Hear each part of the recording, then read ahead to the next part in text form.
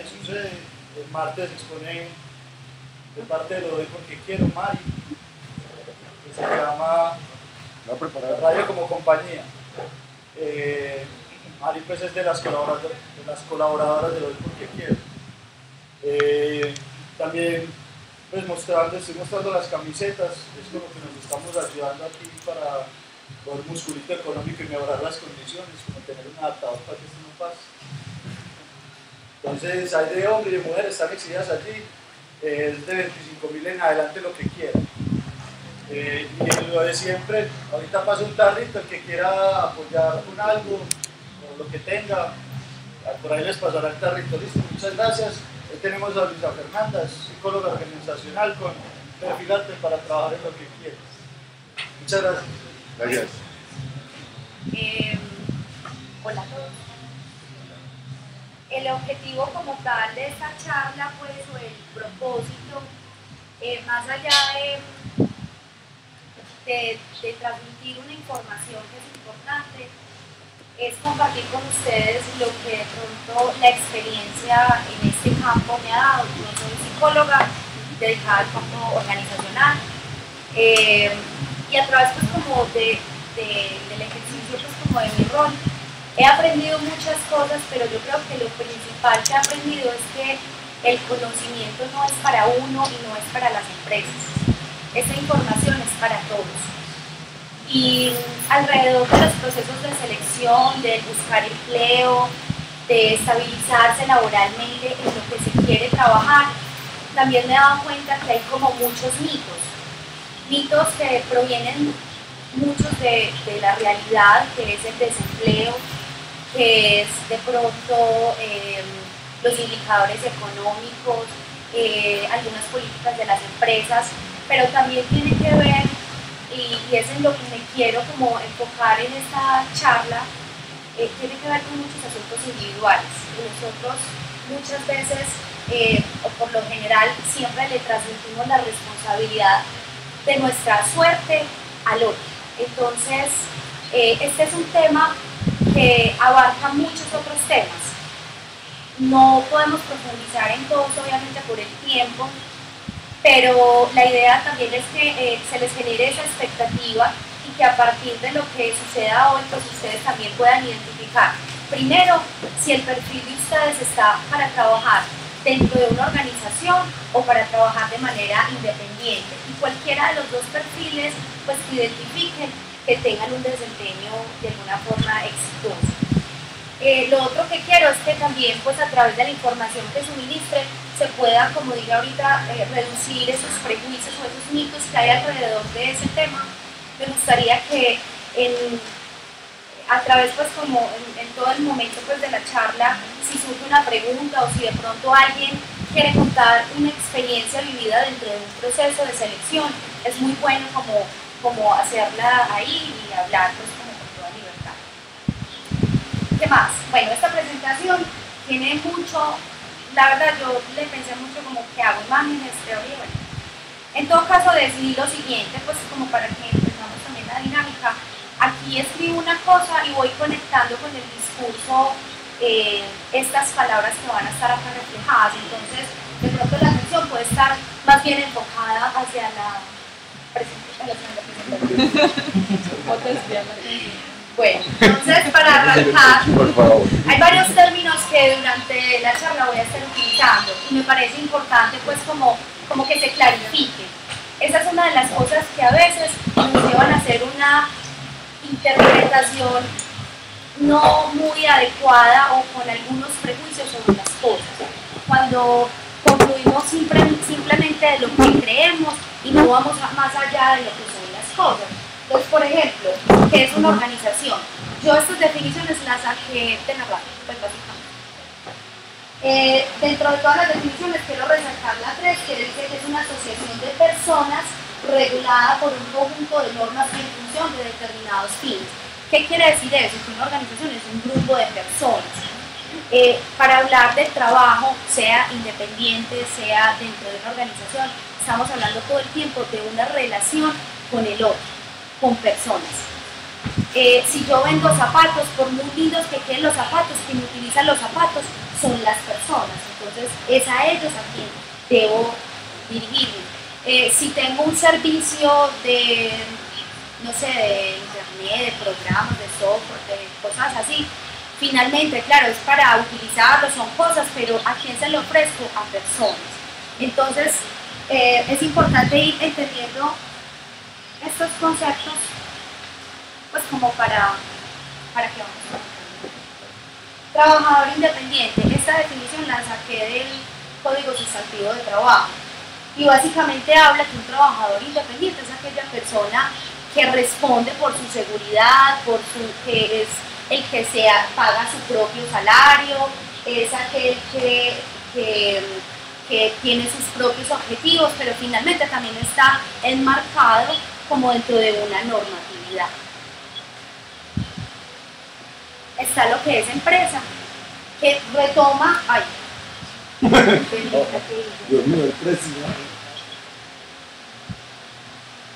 La empresa retoma el concepto de organización, eh, retoma el concepto de organización porque es un grupo de personas que van por un mismo fin, pero con un fin lucrativo. Eso ya viene siendo como la diferencia eh, con la empresa. ¿Qué es desempeño y por qué la pongo acá? Porque el desempeño tiene que ver con esa acción, con el ejecutar unas funciones específicas, ya sea que lo haga muy bien o muy mal, pero eso tiene que ver con desempeño. Competencias laborales. Ustedes ven que últimamente se habla mucho del término competencias y las competencias no son más que esas características que se dan después de integrar las capacidades, las habilidades, el conocimiento, la experiencia. En ese sentido, las competencias dan cuenta del ser, del saber y del hacer. Eso es lo que me permite a mí, y este término es uno de los que más voy a emplear en esta charla, porque es a lo que nosotros tenemos que empezar a identificar cómo estamos respecto a esas competencias. Eh, voy a volver a repetir la palabra respecto, respecto a lo que quiero hacer. Me perdona la redundancia, pero es que esto, esto lo pone uno nervioso. Sí, entonces, uno a veces se enreda, pero me puedes enredar ahí con. No, lo puedo, no puedo. Retomar No puedo. Pero agua en una copita. Pero bueno, desarrollo humano. ¿Y por qué desarrollo humano acá? El desarrollo humano es un proceso psicológico que se da una vez la persona hace unas construcciones en su vida cada vez más complejas. ¿Qué quiere decir eso? Que va reflexionando sobre su quehacer, sobre su ser, todos los días y cada vez va tomando decisiones más profundas sobre su vida. Es una decisión personal como proceso, entonces es continuo. ¿sí? Cuando se habla de proceso se habla de algo continuo y que siempre tiene una oportunidad de mejoramiento. Percepción percepción es la interpretación que tenemos de las diferentes realidades. Y esa, esa interpretación se da de acuerdo a unas condiciones muy particulares de cada uno, que tiene que ver con una historia de vida, con un sentido de vida, con un proyecto de vida. Y con lo que se tiene en el momento, con lo que se vive. Ahí está basada la percepción, con la observación que hace de las cosas. Y por último, autoconocimiento pues, básico, gracias es el conocimiento de uno mismo. Ese conocimiento de uno mismo se puede dar de muchas formas. O sea, no es que haya una técnica específica para conocerse a uno mismo, sino que hay muchas formas. Eh, hay quienes lo hacen a través de la lectura, hay quienes lo hacen a través de la meditación, hay quienes lo hacen, eh, no sé, a través de conversaciones con otras personas, hay que es parapsicólogo, etc. Bueno, todo esto, ¿a qué viene? ¿O a qué voy más bien? A que definitivamente nosotros, eh, como decía al inicio, tendemos a responsabilizar nuestra suerte laboral al medio. Es que eh, el índice del desempleo está muy alto, es que las empresas pagan muy mal, es que están contratando de esta y de esta manera, es que están haciendo esto, y todo eso es verdad. Es una realidad para los trabajadores independientes es que no me pagan a tiempo, es que eh, tengo que cobrar menos de lo que vale mi servicio, casi que tengo que regalar el trabajo. Em, bueno, y entonces todo el tiempo es como una insatisfacción alrededor de este tema, pero lo que no nos hemos dado cuenta es que, diría yo, y es mi conclusión personal, eh, la clave y el éxito para lograr lo que se quiere está desde el momento en que yo identifico realmente qué quiero. Pero para yo saber qué quiero, tengo que ir al autoconocimiento y es saber qué soy. Y cuando me doy cuenta qué soy, qué tengo y qué quiero, ahí empiezo a identificar también qué competencias tengo. En ese sentido puedo saber, bueno, yo tengo ciertas habilidades para esto y esto es lo que a mí me gusta y a esto es lo que me gustaría dedicarme. Muchas veces hacemos la elección del trabajo como por el que mejor pague o porque esta empresa tiene X beneficios o porque tocó y ahí es donde eh, nos dejamos llevar básicamente por la necesidad. La necesidad en ciertos momentos representa un problema porque la necesidad a veces nos lleva a tomar decisiones para poder solucionar algo inmediatamente. Pero si lo miramos de otra forma, la necesidad puede ser una gran oportunidad para evaluar realmente qué es lo que está pasando y qué es lo que yo realmente quiero. Cuando ya nosotros empezamos a identificar, si de pronto no estoy siendo clara con algo creen que estoy dando una cosa, me dicen con tranquilidad. Ahí es donde empezamos, ahí es donde empezamos a identificar más o menos qué es lo que queremos. Y para eso es bueno hacer un proceso de selección. Ese proceso de selección es, como su palabra lo dice, como una forma de llegar a decidir algo. Decidir En las empresas, cuando se va a seleccionar a una persona, básicamente se, va por esta técnica. De pronto, aquí, si las amiguitas psicólogos me pueden complementar algo que ellos hacen esto todavía, eh, me gustaría mucho. En un proceso de selección de la empresa hacia afuera, ¿qué mira?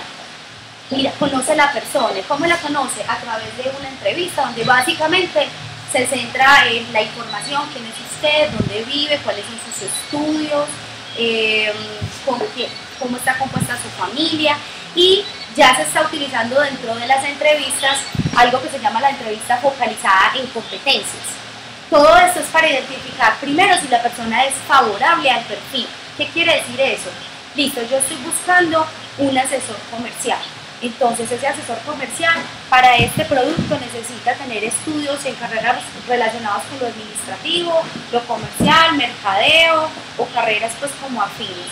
Eh, necesito eh, que tenga mínimo esta experiencia porque lo que va a ir a hacer no es de, pues no, no debe ser primera vez, por ejemplo. Entonces que tenga capacidad para relacionarse adecuadamente con otras personas, para negociar, para trascender obstáculos, que sea tolerante ante ciertas situaciones difíciles. Bueno, todo eso se puede abordar y puedo extraer esa información desde el proceso de selección, hablando desde la empresa hacia afuera. Pero de allá hacia acá, ¿qué puedo hacer? Entonces voy y conozco la empresa. Bueno, esta empresa que tiene, eh, cuáles son los valores de esa empresa, cuál es la cultura, porque es que no solamente si la empresa me quiere a mí, es que yo también tengo que identificar si, si a mí esa empresa me gusta. Porque es que si a mí esa empresa no me gusta, yo no voy a trabajar satisfactoriamente en esa empresa. Entonces, el proceso de selección, digo yo, creo yo, que debe ser en doble vía, no solamente de la empresa hacia acá, sino de allá hacia acá. Es más, cuando usted no pasa un proceso de selección, también le hicieron un favor a usted porque le dijeron, ¿sabe qué? Em, es que usted no va a ser feliz en este caso. Porque no de pronto que resuelvan mitos de la entrevista. Que tengan mitos, que si a un lado a la izquierda, no sé qué, que siga a la derecha. Bueno, eso me parece. Sí, eh, hay, hay varias cosas ahí como alrededor de ese tema. de los mitos, o sea, que finalmente realmente mitos tienen y a veces pueden decir que está. Sí, es verdad. Es verdad que va a hacer eso. Eh, bueno, por ejemplo, ah, bueno, una pregunta, ¿cómo me voy vestido para una entrevista de trabajo? ¿Cierto? Pues la respuesta es depende. Si usted es un diseñador gráfico y va a postularse a una agencia de publicidad, supongamos, no se vaya de corbata, váyase acorde a su perfil. O sea, sea lo que usted es, esa es la clave. Para ir a una entrevista de trabajo, sea lo que usted es. Se va- usted es ingeniero de sistemas y va para una empresa muy formal, pues realmente el ingeniero de sistemas ya de por sí, su estructura de personalidad le gusta vestirse de una manera más formal. Váyase así, pero váyase cómodo, tranquilo. Es decir, no se disfrace pues para la entrevista. Eso por un lado. Que en la, en la entrevista entonces están mirando mi gestualidad, mis movimientos, sí, verdad. Pero no porque, a ver, entonces se movió así, entonces no tiene un trastorno, no. No, eso no se hace. ¿Qué es lo que se hace en una entrevista focalizada en competencias? Es que, por ejemplo, una de las competencias que debe tener la persona es trabajo bajo presión. Entonces, ¿qué hago yo? Le pregunto, le hago preguntas relacionadas a la presión y trato de generarle reacciones en ese momento para saber cómo reaccionaría en un momento de presión. Entonces le dice, no, no, súper bien. Bueno, cuéntame una experiencia que hayas trabajado. No, una vez había que entregar un informe tal, tal día y se dañó el sistema, pero había que entregarlo y de malas, pues yo me fui. Entonces, ¿qué información me dice eso? Esta persona pues no, va a orientar resultados, no sabe trabajar bajo la presión, se estresa más de lo que ya está estresada. Necesita una persona que no se estrese en esos momentos, por, por ejemplo. Por ejemplo. No todos tenemos la capacidad de saber trabajar bajo presión y eso no es bueno o malo. Esas son cosas que la misma experiencia va permitiendo que uno vaya pues como desarrollando. Eh, ¿Qué más? En una entrevista, ¿qué otra pregunta les hace un Venga, pero igual que. Pregunto por. Ah, ya bueno, las pruebas. Pero, ¿qué más de la entrevista como tal? ¿Alguna pregunta puntual? algo? en las organizaciones eh, como que porcentaje de importancia le dan a la entrevista o Yo no te puedo garantizar que en un proceso de selección todos tengan un porcentaje específico. Hay organizaciones que de, acuerdo pues como al core del negocio incluso suprimen ciertas partes de acá. ¿sí? Mi concepto personal es que todo me da un resultado. Yo no me puedo basar solo en la entrevista o solo en las pruebas psicotécnicas o solo en los centros de valoración. No. Y a eso voy, las pruebas psicológicas. ¿Qué son las pruebas? Eh, psicotécnicas. ah, eh, psicotécnicas. Pruebas psicotécnicas. Las pruebas psicotécnicas, como su palabra lo dice, es la fusión entre lo psicológico y lo técnico. Entonces, hay pruebas que me permiten a mí identificar de una manera un poquito más rápido cuáles son esos rasgos o esa estructura de personalidad, ¿cierto? Me permite identificar cuál es su motivación hacia el trabajo, si es una persona que está motivada eh, hacia el poder o hacia el reconocimiento, o si su motivación es el salario, o si su motivación son las relaciones sociales. ¿Cuál es su motivación para el trabajo? Me permite identificar eh, su estabilidad de alguna forma emocional. Yo a esto no le doy el 100% porque como digo, es un todo. O sea, yo no puedo sesgarme por una prueba psicotécnica. Esa prueba psicotécnica tiene que complementarse con el resto de la información. Si eso no se complementa, en alguna, en alguna parte el proceso falló. ¿sí? Pero todo eso tiene que coincidir y tiene que llegar a un solo resultado. Los centros de valoración son esas pruebas o ejercicios que de pronto algunos han tenido la oportunidad de presentar en las empresas y es para evaluar competencias. Ahorita se me olvidó decir algo muy importante y es que las competencias están asociadas al comportamiento, pero al comportamiento observable. ¿sí? Como les decía ahorita, las competencias tienen que ver con el ser, con el hacer y con el saber hacer, ¿cierto? Pero eso no puede ser oculto. O sea, yo digo, yo soy súper tesa para hablar en público, pero nadie nunca me ha visto. Pues, un ejemplo. Entonces, esas son cosas que, que tienen que ser observables y a través de esos centros de valoración es que yo puedo identificar eso.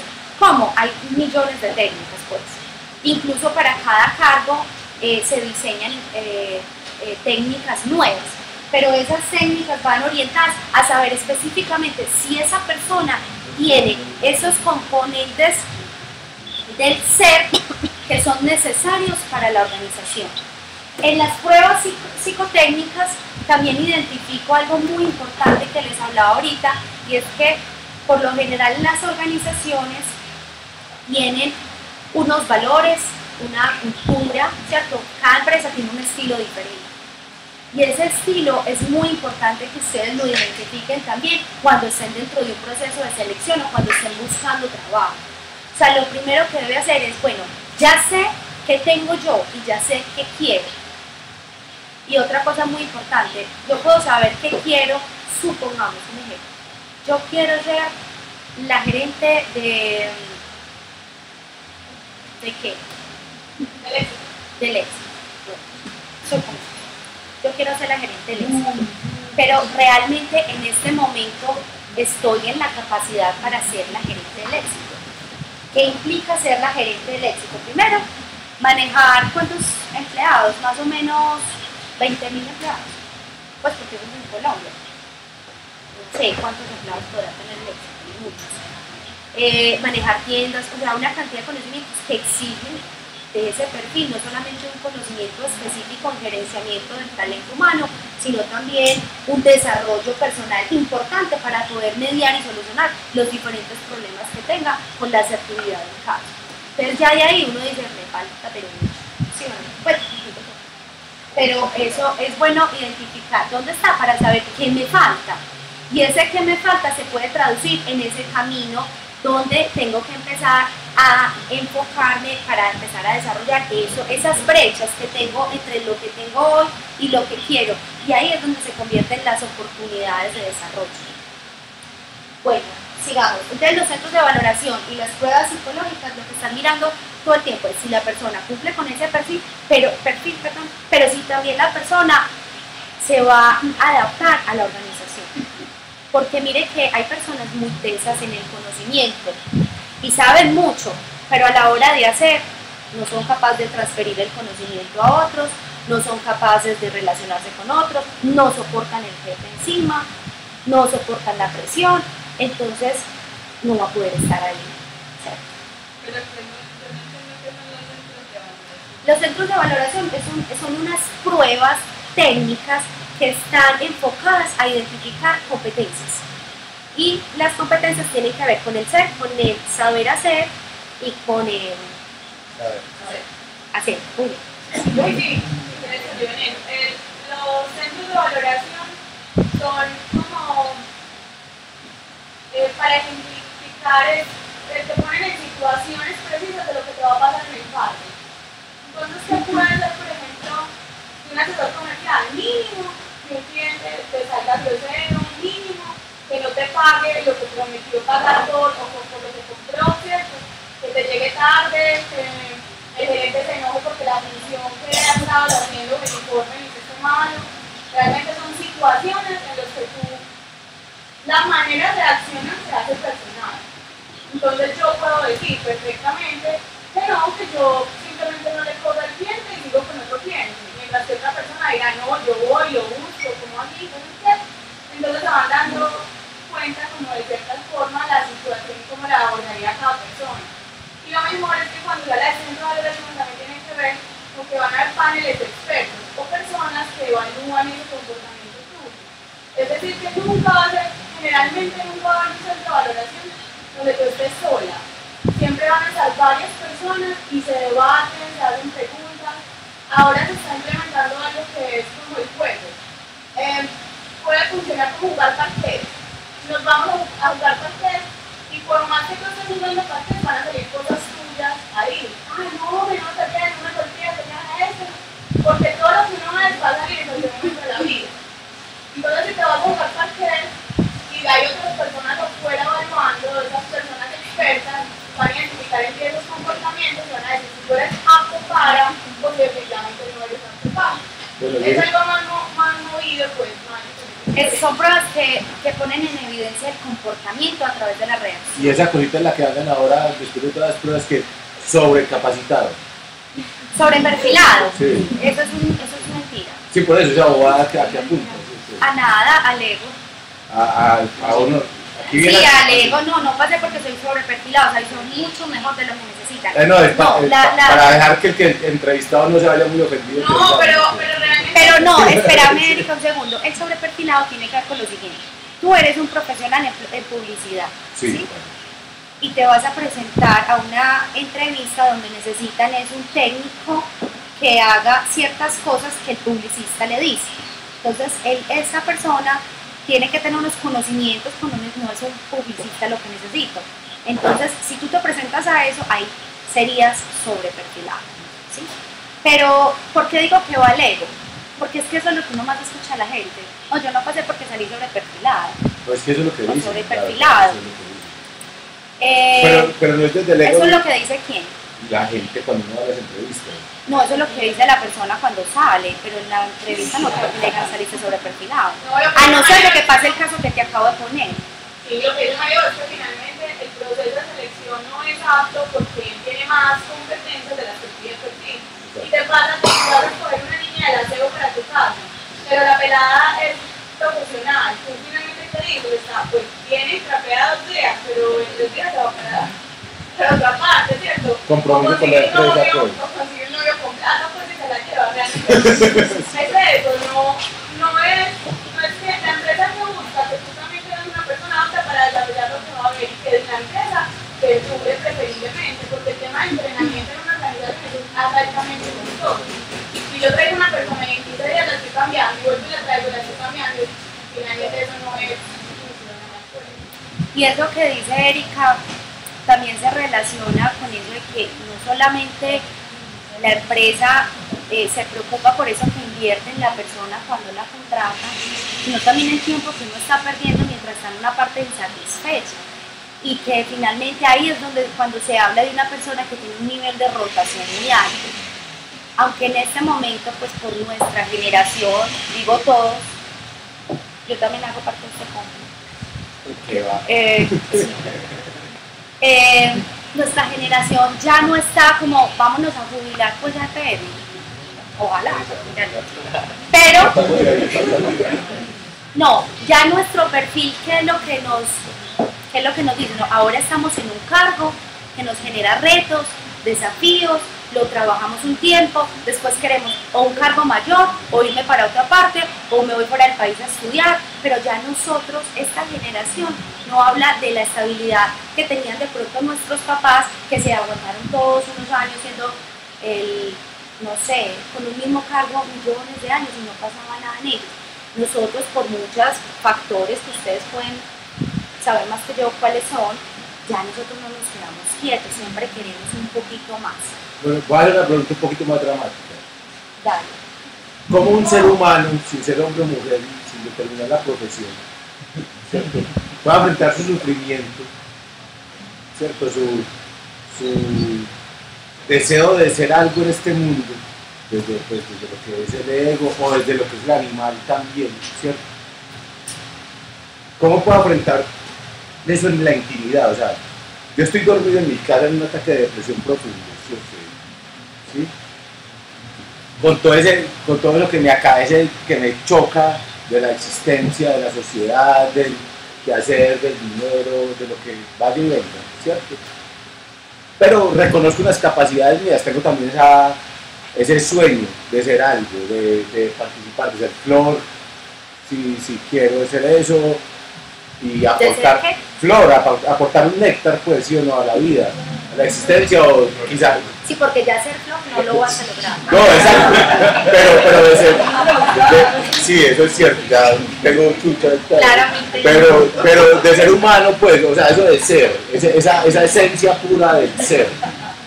Sí, esa esencia pura del ser. Entonces yo estoy ahí con lo que yo considero que es la vida, lo que yo creo que es la vida. Desde ahí, pues, puedo tener un conflicto o no puedo tener un conflicto con lo económico, puedo tener un conflicto o no tenerlo con lo social tengo, tengo- sí, con que sí se tiene un conflicto claro día a día produ- la productividad, ¿cierto? Lo que yo le voy a aportar a mi familia, lo que yo le voy a aportar a, me va a, aportar a mí mismo, lo que yo le voy a aportar a la sociedad. Sí, asumiendo este problema del trabajo, este es del Sí, trabajo pues desde, la, desde el punto de vista de un ocioso, ¿cierto?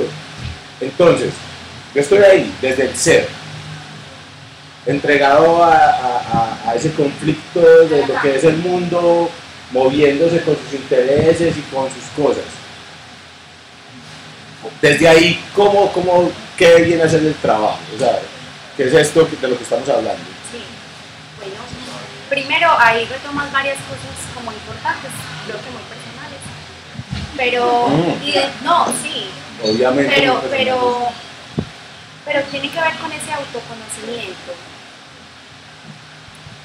Tienes claras las capacidades, las habilidades, tienes claras qué, qué hay que hacer. A eso hay que ponerle un orden. Eso dice mi terapeuta. A eso hay que, hay que ponerle un orden. Y a ese orden ponerle la pasión que requiere. Y eso pasa como la flor. Nunca vas a ser flor. Pero el trabajo sí puede florecer y el resultado se Pero puede porque el trabajo, o a sea, través es- del orden. Pero más desde la... orden de eso. Entendiendo, perdón María, Sí, entendiendo, entendiendo lo que se tiene, lo que no se tiene, las limitaciones, todo eso. Pero, pero creería yo que no podemos entrar a profundizar mucho de ese tema porque Se sale. se nos desvía mucho. Y aquí la, la experta Pero es, la es como una raíz hacia el trabajo. Sí, pues. claro, no, y es muy importante, pero ¿cuál es la conclusión? Si yo conozco, me conozco a mí mismo, sé que tengo, que quiero, a eso le doy un orden. Y a ese orden me le dedico con un tiempo específico, con esto, porque es que ¿qué le pasa a los trabajadores independientes? Que es que no, es que yo soy independiente porque yo no voy a trabajar para otros y está trabajando para otros. Porque es que si usted está haciendo, está ofreciendo un, ¿qué? Un servicio, ese servicio no es para, bueno, si ese servicio es para perros, supongamos, para que no me digan que no se puede, para perros, ¿usted con quién negocia? Con el dueño del perro, ¿sí o no?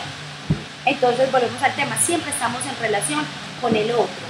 Y entendiendo que siempre estamos en relación con el otro, hay que ponerle un orden a todo, hay que clarificar ciertos asuntos internos para saber cómo llegar allá. Hay que tener no solamente conocimiento mío, sino conocimiento del otro, que eso es como lo que estoy tratando de hablar en esto del proceso de selección. No es solamente el proceso es que se hace de adentro hacia afuera, sino también yo cómo elijo la empresa. Bueno, seguimos con los estudios de seguridad, que es la etapa que sigue posterior dentro del proceso de selección. En la primera parte que supimos, listo, Mareo es apto para el cargo, tiene el perfil que se necesita para el cargo, pero yo tengo que saber si Mareo, si me va, si es confiable. Y lamentablemente la realidad de nosotros es que somos mentirosos y somos, como dicen en la costa, puro embuste. Pues sí me entiende, aquí hay empresas dedicadas únicas y exclusivamente a la falsificación de diplomas. Hay personas que falsifican las referencias Pero el diploma laborales. no determina la investigación. No, pero yo sí puedo certificar tu conocimiento a través del diploma. No necesariamente porque es que No, porque estamos hablando de tres cosas.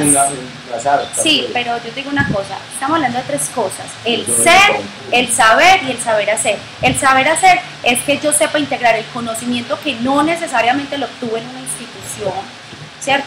Y de hecho hay empresas donde usted llega y el perfil dice una cosa y usted demuestra con habilidades que es un genio y las empresas dicen, este tipo es tan bueno que no importa que no sea profesional. ¿Cuántas personas no terminaron de pronto en la carrera y no se graduaron y están trabajando como profesionales? ¿Eso en qué limita dentro de la categorización de muchos cargos en algunas empresas que no les permite de pronto ascender, no sé qué, pero por cuestiones ya internas y muy particulares? Entonces lo que digo, no determina el conocimiento que sepa, no, pero esos estudios de seguridad, si tú llegas y me dices que yo soy publicista, yo te creo, pero la empresa se tiene que asegurar. Y no todas las empresas. ¿Qué empresas por lo general hacen esto? Empresas como los bancos, pues los bancos que manejan dinero, donde el patrimonio de la organización puede estar en riesgo. Entonces, ¿qué contiene un estudio de seguridad a personas? La visita domiciliaria. ¿Qué se hace básicamente en la visita domiciliaria? Se mira el, barrio, el entorno, la familia, la composición familiar, eh, los bienes que tiene. ¿Por qué? por varias razones. Uno, porque hay empresas que se dedican y que hacen periódicamente los estudios de seguridad para ver, bueno, así ingresó mareo. En dos años se supone que debe estar igual o mejor la calidad de vida. Entonces vuelven y hacen el estudio de seguridad para validar eso en el tema de la visita domiciliaria. En otras es para saber qué tiene. Y por ejemplo ha pasado, alguna vez yo hice una visita domiciliaria por allá en el barrio El Salado a un señor que era, iba a ser conductor de esos carros de transportadora de valores, de, de Proseguro, de Brinks o de Atlas, bueno, no me acuerdo cuál era. Era un vigilante que se iba a ganar alrededor de 700 mil pesos. Y cuando llegamos a la casa y al barrio, bueno, es que eso fue toda una locura. El sector, no sé si de pronto algunos han tenido la oportunidad de ir, el sector es muy humilde, allá, de allá es donde viene el conflicto armado de la Comuna 13, llegar, allá hay dos eh, bases militares, y la casa muy humilde, pero llega así el súper televisor. Y aparte era Navidad, y en la parte de atrás había una, esos carritos, una por que iba a ser el traído para el niño. Entonces, bueno, señor, y usted no sacó eso.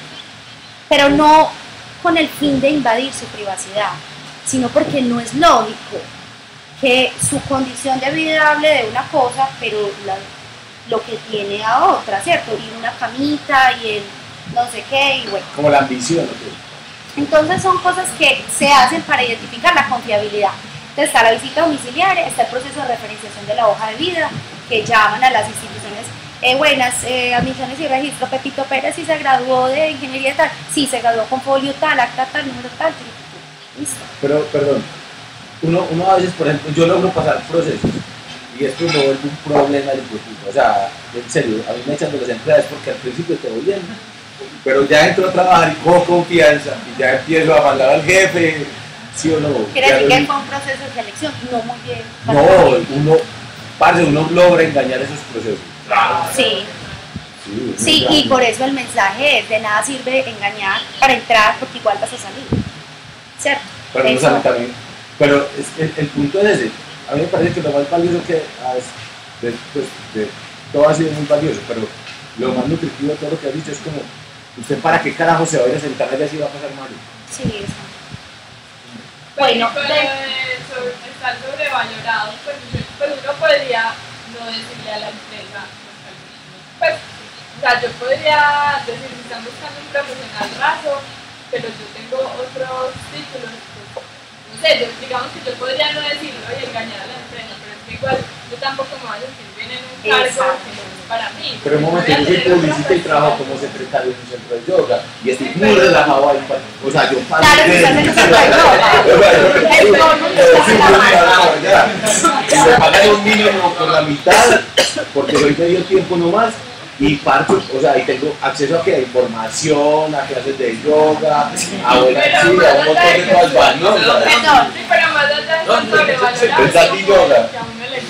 Pero eso no es de ser sobrevalorado porque estás haciendo una tarea de secretaría. No, pues, pero para mí, realmente para ti está generando satisfacción. mi necesidad en este momento es la tranquilidad y la estoy recibiendo. Listo, tú me ibas a hacer una pregunta. Sí, ya, es como caminando en otra cosa, no sé si no vas a tocar eso, pero yo vine más porque yo ya pasé un proceso de la, la práctica y la cagué, pues, nada, comer a cruzar pero...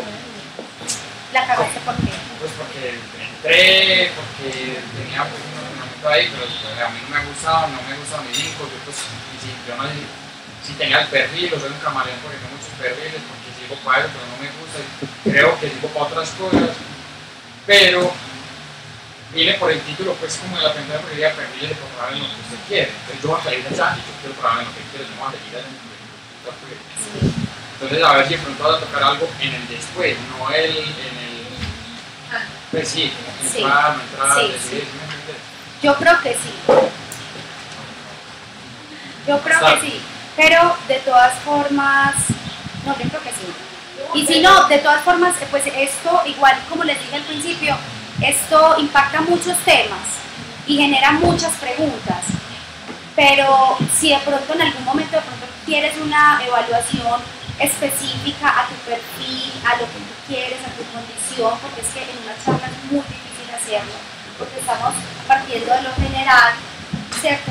No, vamos a llegar a lo particular, te puedo ayudar con, eso. Bueno, entonces, Perdón, dos cositas que de pronto te faltaron. Una, principalmente la hoja de vida, porque finalmente uno entra a las empresas, uno dice, como dice al principio, dar una buena impresión, eso es lo importante.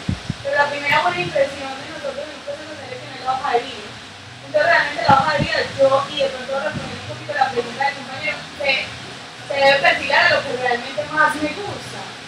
Si lo que menos me gusta, pero sabes que espérame que está, está adelante. Lo que pasa es que aquí estamos identificando, estamos haciendo un proceso de selección.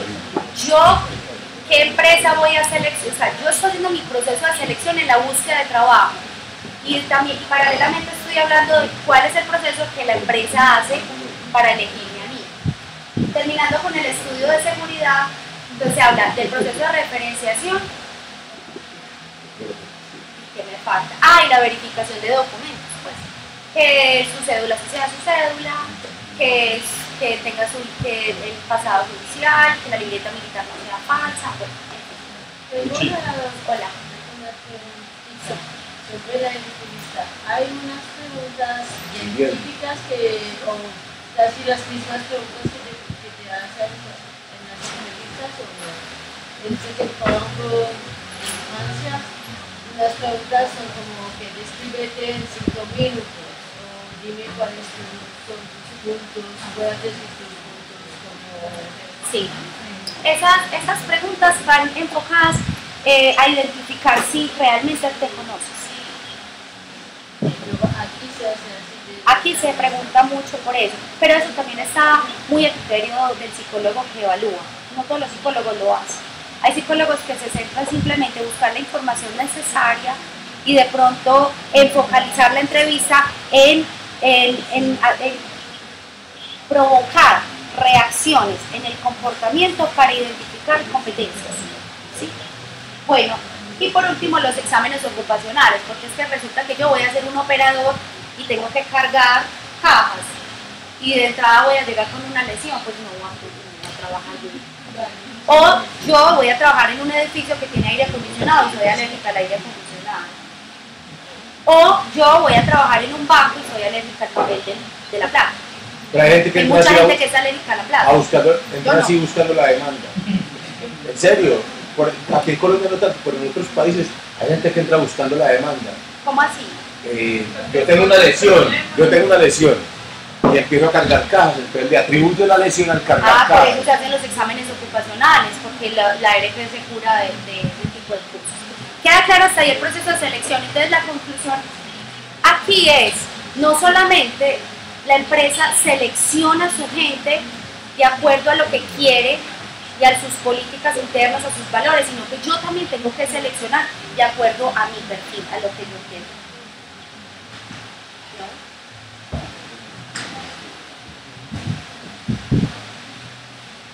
Ah.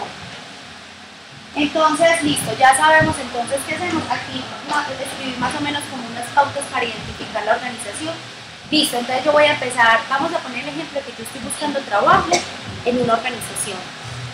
Entonces, eh, yo soy psicóloga y a mí me gusta el campo organizacional, pero yo tengo muy claro que yo no trabajo en empresas, por ejemplo, dedica- de- dedicadas al sector financiero, porque es que no me aguantaría la normatividad así, ta, ta, ta, ta, ta, ta, sino que de pronto me gustan unas organizaciones más flexibles, donde el clima sea diferente. Allá es el primer lugar donde tengo que ir a buscar. ¿sí? Para eso, ¿qué hacen ustedes? Referencien las organizaciones. Ustedes pueden llamar a las unidades de gestión humana y preguntar, eh, pues referenciar, bueno, cuáles son los, la cultura eh, está asociada a qué en esta organización, cuáles son los valores, cuáles son las competencias organizacionales. ¿Qué son competencias organizacionales? Son esos comportamientos que deben ser transversales, es decir, que en, en unos niveles diferentes todas las personas deben de tener. O sea, todas no- las personas que van a ingresar y que trabajan allá las van alineando a unas competencias específicas de acuerdo al negocio. Permítanme. Y ya hay unas competencias específicas que van asociadas al cargo. Pero ustedes qué hacen al principio para buscar lo general, la, organización. Entonces van y miran, bueno, esta empresa tiene estos valores. Por ejemplo, yo tengo un ejemplo muy particular que hace algunos años me pasó y ahí fue donde yo saqué la conclusión, es que, es que por más plata que uno le puedan ofrecer en algún lugar, tampoco me sirve cualquier lugar, porque yo tengo que estar contenta. Y fue cuando alguna vez me hicieron una oferta para, para trabajar eh, como jefe de recursos humanos del Casino Río. Entonces me puse a pensar, o sea, me imaginaba ya, yo bueno, entonces yo voy a empezar a trabajar, a movilizar a todos los empleados en función de que vuelvan adictos a otros al juego. Eso tiene que ver conmigo. Yo no me voy a sentir bien allá. O también mucho antes, cuando estaba en la universidad, bueno, imagínense pues que eh, estaba, estaba en una campaña política. Y resulta que maquillé a un señor para una foto que se estaba lanzando de concejal de Bello. El señor tenía unas arrugas muy profundas, pero el señor en la foto quedó perfecto. Y resulta que el señor tenía una funeraria. Y me llamó. Me dijo, le tengo el trabajo. Y yo estaba en la universidad súper, súper pitiola pues, y me decían, maquillando muertos, y yo, uy, suave. Pues, no va conmigo, y eran como dos millones de pesos, y uno como estudiante con dos millones, súper bien.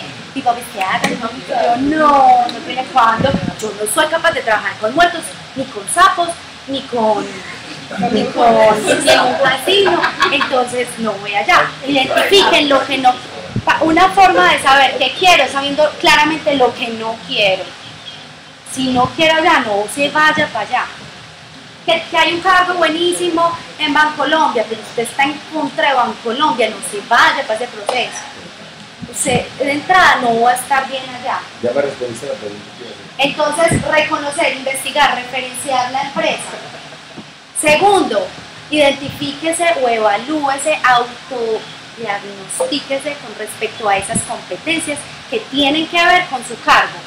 ¿Cómo lo puede hacer? Bueno, entonces, volvamos al caso del publicista. Entonces, Mario es publicista, sí o qué. Pero entonces lo van a llamar de el éxito para trabajar como director de no sé qué, y necesitan un publicista. ¿Sí o qué? Eh, va, investigue. ¿Cuál es, son las competencias que requieren ese cargo? Vea, y eso es súper fácil buscarlo. Usted se mete a internet. Eh, publicistas, ¿cuáles son las competencias? Entonces le va a salir creatividad, innovación, y sale la definición y salen los comportamientos que hacen que eso sea. Entonces, ¿usted cómo se autoevalúa? Entonces dice, supongamos, uno, No me cae uno que me no me cae bien la empresa, no trabajo con ellos. uno que me sé, una competencia que me sé, dice, debe, debe tener en un nivel tan, por ejemplo, eh, la comunicación. Entonces habla, eh, se expresa de forma clara y concreta, en público, se interesa, ta, ta, ta, ta, ta. Ustedes dicen, sí, no, a veces no me entienden, a veces me cagan, a veces esto, veces lo otro, ¿cierto? O con trabajo en equipo, se relaciona, comparte la información, eh, ofrece liderazgo, ¿sí entonces uno se va ahí autoevaluando, entonces tengo esto, me falta eso, y ahí es donde uno va identificando esas brechas que tiene o esas oportunidades de desarrollo, yo diría yo. ¿Se acuerdan ahorita de la palabra desarrollo humano? Bueno, y elabore un plan de acción, o sea, usted ya identificó la organización, bueno, lo mío es Intuitu. No solamente me encanta en valores, no solamente me encanta en sus políticas, no solamente me encanta, sino que me parece hermosa esa empresa con esos tubos de colores por allá y en Río Negro me fascina, ¿cierto? Identificó. ¿Qué la identificó, identificó el lugar. Ahora identifique el cargo y después identifique usted, bueno, me falta eso. Así se prepara usted para ese proceso. Y cuando usted llega, sale. O sea, es que el lugar es suyo. Es más, usted llega claramente y dice que ahí es donde los invito a hacer un plan de acción, pero no solamente a hacerlo, sino a ejecutarlo. Porque muchas veces, ¿qué nos pasa a nosotros tan lindos todos? Que nos emocionamos y queremos y yo quiero, y yo deseo, y yo esto y lo otro, y se nos olvida. Y se nos quedó en el aire. Y si después, no, la verdad que tengo que hacer esto, o le da pereza. Entonces, yo lo que por lo general concluyo ahí es que realmente no es que quisiera mucho, o no es que le importe mucho, porque pongamos el caso así, lo normal, cuando usted lo invita a salir una persona que a usted no le gusta casi, usted puede llegar tarde y le dice, bueno, vamos, y normal, y hablan, y bacano, y todo. Pero cuando usted lo invita a salir, una persona que le encanta, o dicho, sí, sí, sí, pues todo el que, bueno, eso nos pasa a las mujeres. ¿Cómo así? mí. Pero es como por poner un ejemplo de lo cómo reacciona uno y que uno ejecuta las cosas que uno quiere hacer. Lo que a uno no le nace mucho, uno como, ay, que lo he hecho. No, pero lee esto, investiga sobre, sí, sí, lo tengo que hacer, pero pues cuando no sé. Y ahí es donde está el problema de los trabajadores independientes. Que a veces mi conclusión es, no son tan independientes, son es rebeldes, porque no quieren confrontarse y enfrentarse a una responsabilidad. Porque si bien es cierto, me parece más duro el trabajador independiente que el empleado. Aunque los dos están, se supone que cumpliendo con unos objetivos, con unas metas, ¿cierto? Están cumpliendo con una finalidad. Pero como el trabajador independiente se supone que tiene su horario, ¿cierto? Que se organiza solo, debería ser mucho más organizado y estructurado, pues que, que, que lo- Pero ¿cuál es la importancia del trabajo? Es que la, la pregunta va más allá, o sea, listo, el dinero está importante y nos hace falta, ¿cierto? pero el trabajo en sí es, que es la bobada. Pero yo te voy a decir una cosa porque acabas de tocar un punto muy importante. A lo que yo voy con esta charla y uno de mis propósitos también es que el trabajo no solamente se traduce en remuneración económica, se tiene que traducir en satisfacción, en realización, en goce, en placer, pero eso depende si nos dejamos llevar por la necesidad como problema o en la necesidad como oportunidad de mejoramiento. Ahí es Bueno, lo último, elabore el plan de acción y ejecútelo. Como les digo, no lo deje por allá en sueños y deseos, mariposas, bueno, no. Y por último, y postúlese al cargo, sin miedo. Sin miedo. Vea, señores y señoras y jóvenes y jóvenes. ¿ve? bueno, eh, hay un mito, no, es que eso allá tan difícil, no, eso que me van a parar bolas, no, es que allá no. Mire, seleccionar gente no es fácil. Y lo que uno se encuentra es que usted postula una vacante y se presentan sopo 200 personas, 80 mil millones de personas, y ninguna le sirve. Como pasó por ahí alguna vez con alguien que conozco, se publicó la oferta para asesor comercial, para director comercial y para secretaria de comercial. Y la misma hoja de vida en las tres. Bueno, ¿y esta persona qué quiere? ¿Qué le sirve? Chao de entrada, yo no voy a entrar a resolver los problemas a nadie. Necesito encontrar una persona. Y encontrarla no es fácil. Entonces, si usted sabe que usted es la persona idónea para ese cargo, vaya, vaya, vaya, pida la cita con la psicóloga, con la persona encargada o con el jefe del proceso. Porque muchas veces el psicólogo es quien media en el proceso, pero quien toma la decisión es el jefe finalmente. Pero- Entonces vaya donde el jefe y dígale, vea, yo quiero trabajar acá por esto, por esto, por esto, por esto me sueño acá. Y de verdad, eso es una realidad. A mí, por ejemplo, me pasó muchas veces con personas que yo veía que llegaban allá con el deseo tan grande de entrar a un banco, no voy a decir el nombre, que yo no entendía por qué, pero bueno, había que cumplir eso. Pero así con, el, con las ganas, claramente el deseo, no, mi hija, no se hable más, usted va a ser feliz ahí. Y entonces, si uno es feliz, hace las cosas bien, pero si uno no está contento en lo que hace, Es que ahí está el asunto entre el empleado y el independiente. El, el empleado busca una empresa que, en la que él quepa. El independiente hace este proceso al revés. pero no, el Entrevista a la empresa. Exacto, no, y es que yo también como empleada tengo que ir a referenciar primero la empresa para saber si me va a ir, Sí, si eso es lo que quiero. Y dos, como independiente, también. Porque es que no todos los clientes son para uno. Sí, claro yo puedo no. ofrecerle papas a todos los paperos, pues a todos los que tienen eh, cosas de... Y hay un mal de un de- cabrón al que uno le quiere pero no todos, no todos me sirven a mí. Entonces yo también tengo que identificar mis clientes y fidelizarlos. Es lo mismo. Mire que esto aplica para Oh, todo. va a trabajar. Y también hay otra cosa, es lo de la profesión. Pues hay empresas que son muy cerradas, como de, quiero un publicista o quiero un ingeniero mecánico.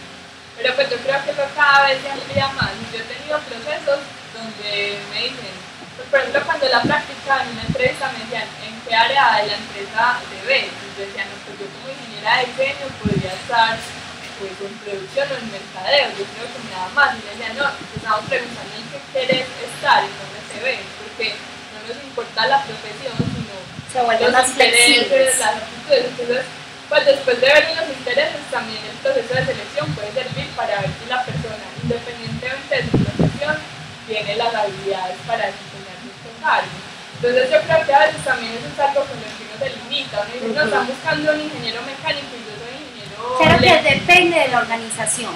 Porque, por ejemplo, ¿qué pasa en EPM? En EPM pasa que el perfil es demasiado rígido. Pero porque el conocimiento que requieren algunos cargos, porque son rígidos en algunos cargos, ¿cierto? El conocimiento que requieren algunos cargos debe ser muy específico. Entonces, en ese sentido, se vuelven así. Por eso, antes de buscar el cargo, busque la empresa, es como la casa. Además, es el lugar donde más tiempo va a pasar. Tiene que gustar. Bueno, por último, y para terminar, eh, les traje un esquema de lo que debe contener la hoja de vida. Esa es la foto que no se debe poner en una hoja de vida. ¿Cierto? Tampoco las niñas ahí todas, todas no. Es una fotodocumento. Y sin foto. Ahora, que no sea de la infancia, pues, porque también pasa, si es un señor de mucha edad, es una foto actualizada, no ponga la foto de Y sin foto, 15. y sin foto. No, debe de ir foto, preferiblemente, o sea, sin foto también se van muchos fotos, pero yo sé que la preferencia es foto, ¿sí o qué? Muchachos. No lo con foto. Ah, bueno, eso es muy independiente. Pero bueno, ¿qué debe contener una hoja de vida? Primero, el perfil ocupacional. En ese perfil ocupacional va un resumen pequeño, donde usted escriba y registra ahí cuáles son sus habilidades, sus competencias, su conocimiento, su experiencia, ¿cierto? Y enfocado a lo que quiere, porque por ejemplo, si usted tiene un perfil para ser docente, pero también para trabajar como, digamos, como profesional senior en una empresa, entonces haga su hoja de vida que aplique como docente, eh, ya sea para entregar a la universidad y otra que sea para, como, con el enfoque como analista senior, ¿cierto?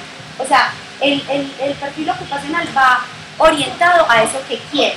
La- luego va la información personal, que está nombre, cédula, libreta militar en caso de los hombres, dirección, teléfono, celular.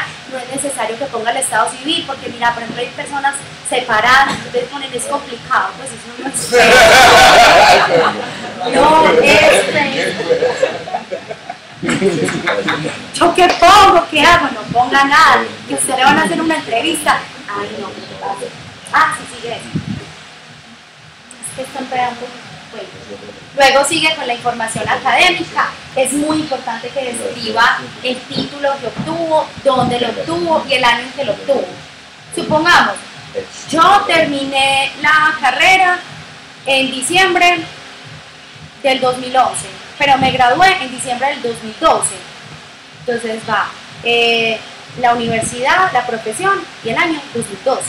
Porque usted se graduó en 2012. En la entrevista le cuenta, me gradué después porque yo terminé materias hace rato. El título, la experiencia laboral se sugiere por el tema de la referenciación y entre más clara sea su hoja de vida es mejor. Una hoja de vida eh, no tiene que irse con el diseño, pues que cómo la hago, cómo la monto. No, es que contenga su información. Ahora, si usted es un diseñador, si usted es una persona del área, pues como creativa y como de esos campos, ahí sí, métale diseño, porque lo que van a mirar es el diseño. Perdón. Eh, listo. ¿Qué tiene que contener la experiencia laboral? El nombre de la empresa, el tiempo en el que trabajó, ponga preferiblemente fechas. eh, Pues yo te preguntaba, que yo no me acuerdo la respuesta, es que, no, no, por ejemplo, no, oiga, yo sé que a algunos les puede servir también. Por ejemplo, cuando yo empecé la empresa que me tumbaron, y la empresa se formó, des- o sea, me tumbaron y yo no, ¿qué hace uno ahí? No, escríbelo y no necesariamente en este formato. Por ejemplo, ¿qué pasa? Digamos, yo trabajé tres años en, en Industria Escopelia, ¿cierto? Y luego me fui tres años a hacer un proyecto en Londres con Jimena y allá desarrollamos un trabajo. Allá esa experiencia cuenta, porque es que la- el trabajo como tal y la experiencia laboral es para saber usted qué ha hecho, qué contacto ha tenido con los otros, cómo se ha desenvuelto. no necesariamente tienes que poner el mismo guion, pero redáctalo. Pero ¿y quién verifica eso? No, porque usted cuenta, es una empresa que pasó esto, esto, puede llamar a tal persona. Eso sí, no ponga a su ex socio, ¿cierto? Tiene que poner a la gerente a Catalina, ahí es la que aplicaría.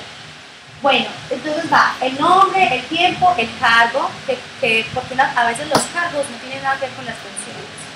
Usted es que la jefa regional y termina siendo como la secretaria. Eh, las funciones, el motivo de retiro, es bueno ponerlo, voluntario, terminación del contrato. Y ya usted en una entrevista dice, se me acabó el contrato, o pasó esto, o esto, o esto no. Eh, el jefe que tuvo y el teléfono. Listo.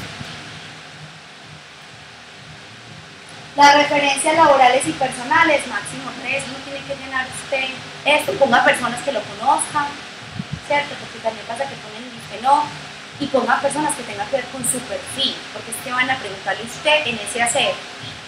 Entonces, una referencia personal puede ser un familiar, un amigo, y dos personas que estén relacionados con su campo. Y listo el pollo. Perdón, a mí me ha sido muy efectivo en mi hoja de vida, por ejemplo, que en referencias personales he puesto una ex jefe que es parcera. Y es una dura y la gente la conoce, ¿sí o qué? pero no la puse en laborales, es un personal. Y, y eso es bien, porque la gente la llama y, y ella tiene muy buenas referencias mías. Pero más desde lo, desde lo humano que desde lo... No, y generalmente, pero cuando uno llama a pedir una referencia laboral, no pregunta por lo humano casi, pues obvio que sí, porque somos hablando de humanos, ¿cierto? Pero lo que habla es de las habilidades, de ciertas la re- desempeño. Pero lo que me pasa con esta nena que es, la gente la conoce.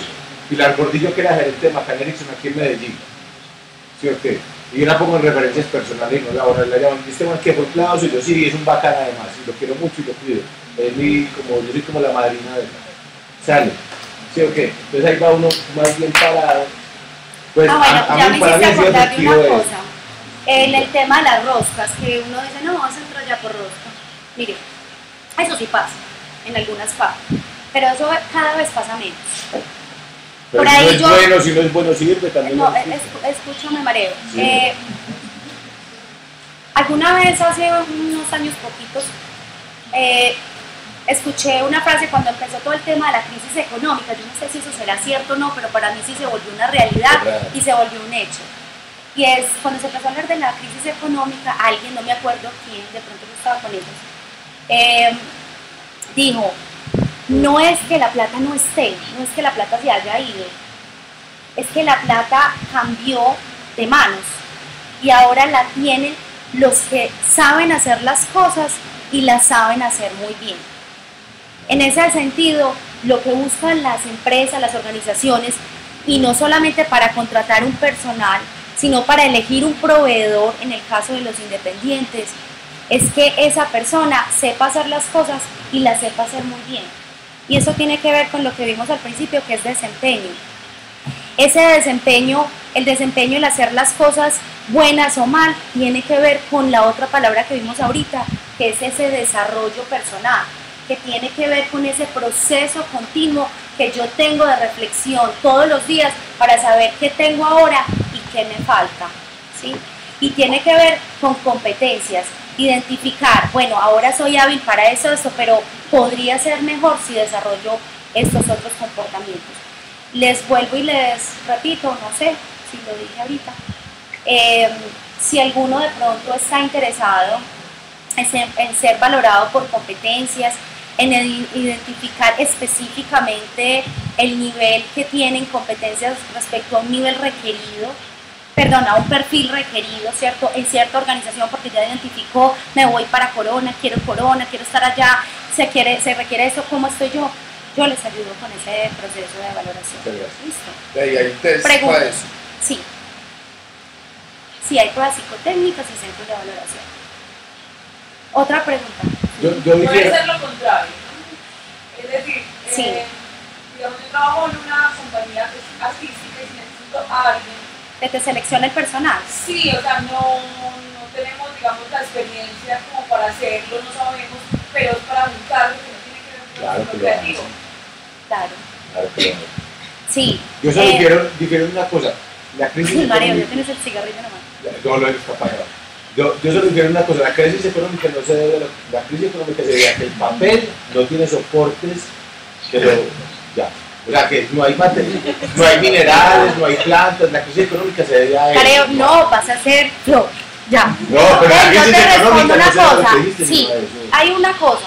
Y es que en ese momento pues yo podría disponer del tiempo como fuera de mi horario laboral, que es salgo a las 5 de la tarde, o los fines de semana. Pero lo que te sugiero es que te pueda dar una asesoría de cómo hacerlo y más bien te acompaño en ese proceso. O sea, que ustedes lo hagan y yo te voy explicando cómo hacer todo el proceso y, y te voy asesorando en cada etapa del- de eso. Si me hago entender, entonces podemos conversar para eso.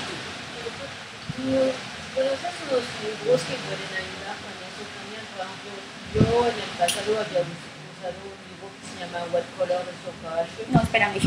No, pero es como el, es un libro americano que es muy bueno para este proceso de autoconocimiento Ah, todo eso. Yo me estaba preguntando si hay unos libros en español también de este tipo. Porque ya sé como, por ejemplo, está bien que te propones, pero todo el mundo no puede necesariamente acceder a, a ti. Y como yo trabajo en una escuela para aconsejar estos tipos de libros, pero en español. Sí. No. Pues más o menos entendí. Sí. Sí, que quieres unos textos en español Sí, que, que hablen sobre, sobre eso. que- sobre lo que yo estoy hablando. Sí, el no, más como sobre la. Como Proceso de selección en una empresa. O sobre No. competencias Sobre el autoconocimiento. de autoconocimiento. que yo- Ah, sí, mucho. Sí. Y podemos. Pues mira, desde lo básico del autor es simple como, ah, la psicóloga, ella nos ayuda con Ella nos dice sobre autoconocimiento. Bueno, pero sí, sabes Pero que ahorita nos damos el correo. Yo tengo algunas referencias que pueden servir en textos, ¿cierto? Para el autoconocimiento, pero como te digo, el proceso para autoconocerse puede ser de múltiples formas, ¿cierto? No, no hay como una técnica específica. ¿Alguna otra pregunta, señores? Bueno, me, me dio mucho gusto, ok, gracias por la invitación. No, todos te conocemos y a mí me gustó. A mí me, yo Si no, quería, conociendo. Pero muchas gracias, muchas gracias. yo termino una cosita y ya. Eh, yo tenía muchas ganas de compartir este tema porque siempre alrededor de esto eh, veía muchos miedos. Como no, no me llama, llevo tantos meses y esto. Y lo que realmente hoy con esto, que, no, que ojalá se haya quedado el mensaje, es que de verdad sepan que el lugar donde quieren trabajar o los clientes que quieren tener o hacia dónde quieren llegar está en manos de ustedes, no es en manos del otro. Y lo más hermoso que yo aprendí esta noche, no se vaya por un lugar donde no les da la gana de estar. pues. Y no vas a hacer flow. No, no vas a hacer flor. Bueno, muchas gracias Luisa. Eh, como siempre, invitarlos al martes, que es la radio como compañía, que es Maritza, la, una de las colaboradoras de Lo Digo Que Quiero. Eh, también las camisetas, el que quiera, pues ahí están también. Van a estar en calle 9 siempre, pero si no, conmigo también hablamos y cuadramos. La donación, la donación o la, es de 25 en adelante, lo que quieran, pues. Las camisetas. Y, y bueno, no, muchas gracias a todos, invitados Gracias. como siempre.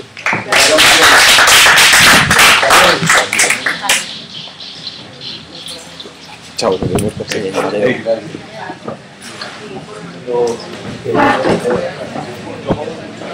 Ah, pero se puso querida después. No, Jode porque Yo juego porque quiero.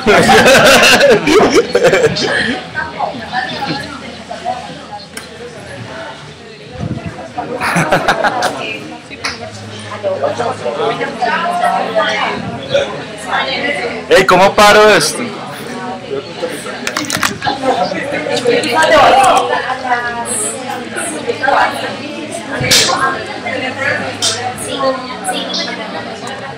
で